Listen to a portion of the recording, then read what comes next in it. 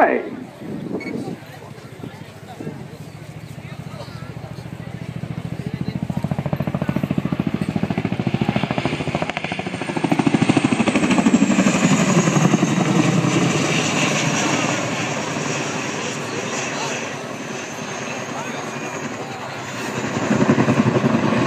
And coming straight into a bump maneuver there, almost 90 up, almost 90 down, uh, quite uncomfortable, and then into a corkscrew to bring it back deeper Cloud Centre. Marvellous machine, what a big presence that helicopter has. All of the crew flying the displayer from numbers 18 or 27 squadrons at RAF Odiham in Hampshire. They've completed operational deployments this year and notched up over 26 tours of duty in Afghanistan between them.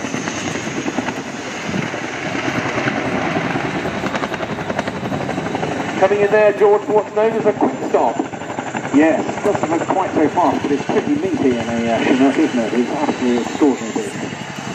And following that bow to the crowd, it's into a manoeuvre known as the Gornji Climb. This is named after the base in Bosnia at Gornji Vakuf, from where Chinooks operated during the conflict there of the 1990s, really demonstrating its excessive power.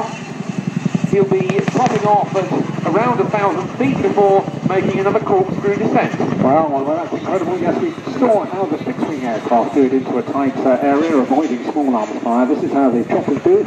And indeed, the uh, Lynx helicopters used to do it quite a bit in Northern Ireland as well during those uh, operations down in Oman. was chatting to Paul Farmer himself last night, and he was telling us how much he really wanted to show off the entire envelope and capability of this particular aircraft. Itself a very weighty machine at uh, around 15 tons, but able to carry a whole another 10, 10 to 12 tons. Yes, underslung loads are often used in Afghanistan, whether for resupplying